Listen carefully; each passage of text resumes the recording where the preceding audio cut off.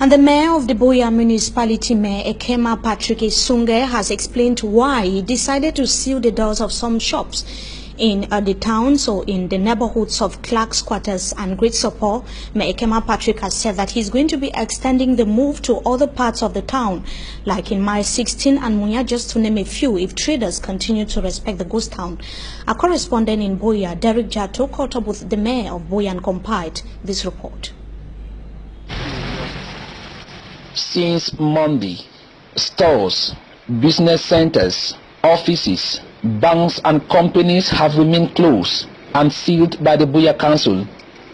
And this is him, Mayor Ekema Patrick Esunge, the mayor of Buea Council, who did it. I personally did that. I was on ground uh, uh, for 13 hours. We're going to continue. I'll be in Muea, I'll be at 916. Those are parts of the municipality and insisted that he acted on the law and also on an agreement that was arrived at in a meeting with economic operators of the city recently with businesses now grounded. One next. I insist they must meet up their fiscal responsibility with the council.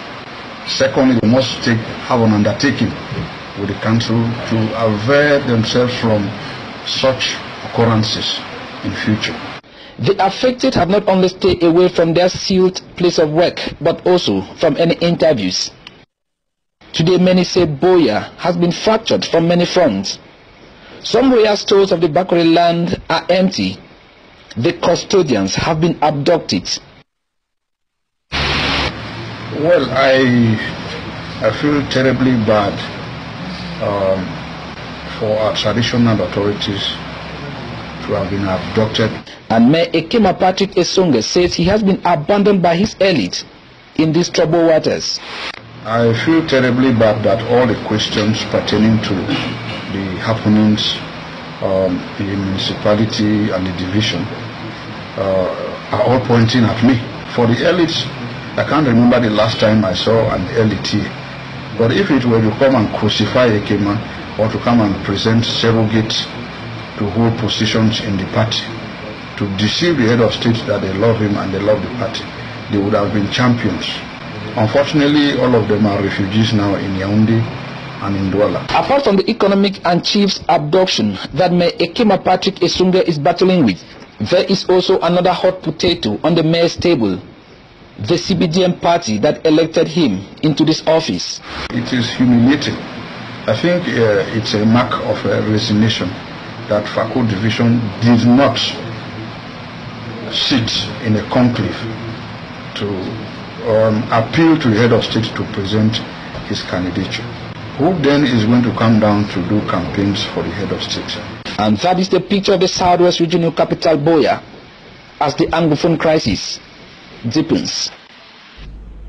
And talking about the closing of some shops in the Buea subdivision by Mayor Ekema Patrick Esunge, a lawyer in Buea, has practically kicked against the decision by the mayor to seal the doors of shops qualifying it as illegal.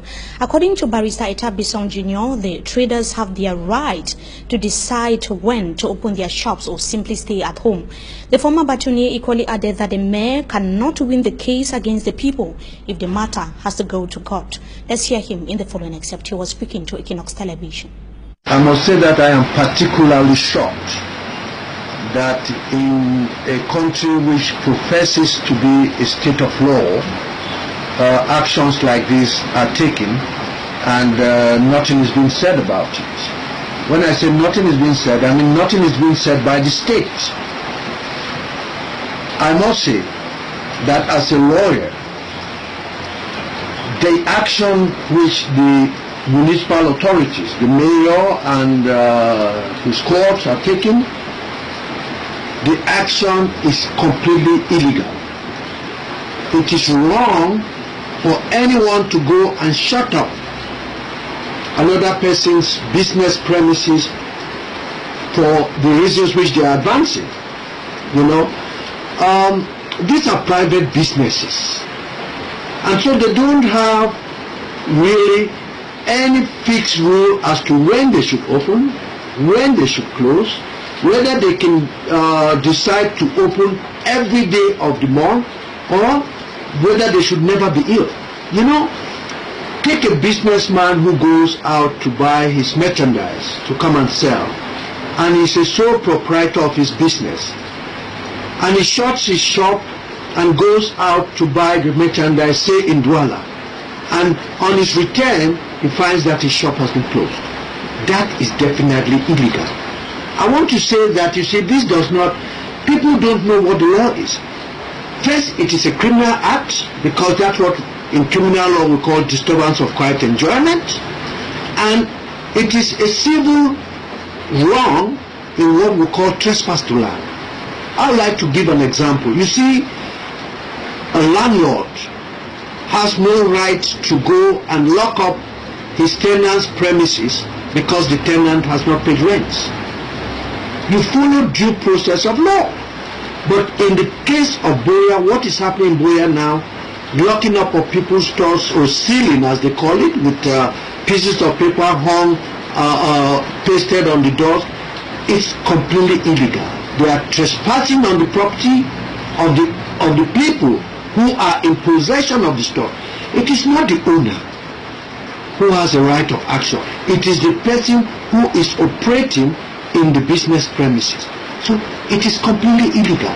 And I should imagine that the mayor should have advisors. And I know that there are councillors there in that council who are legal minds who should tell the mayor that this type of action is completely illegal and uncalled for. What offense? What is the offense for a businessman not opening his premises? But somewhere along the line, somebody must start an action to stop this type of nonsense. Because absolute, it is absolute nonsense. So somebody must stand up someday and fight this type of fight and let the court declare whether the mayor or whoever can go and shut up a man's business place for reasons which are not in violation of any law.